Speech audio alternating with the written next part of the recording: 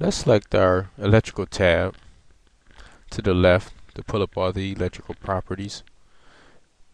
What we're going to do next is place a lighting fixture in our fake room here.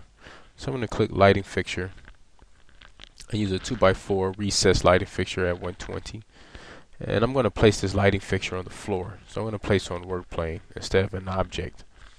I'm going to place a light fixture onto the floor, hit escape to clear the selection. And we're going to make copies of our light fixture to simulate as if it were in the room. I'll select the two and make a copy.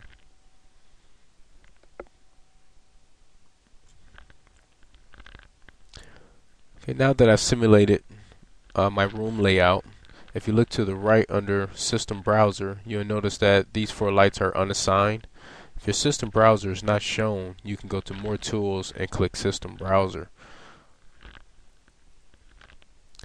My next step is I'm going to add a device, which is uh, going to be a light switch, a single pole.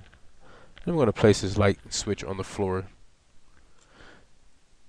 And next I'm going to create a switch for this light switch to turn these lights on and off.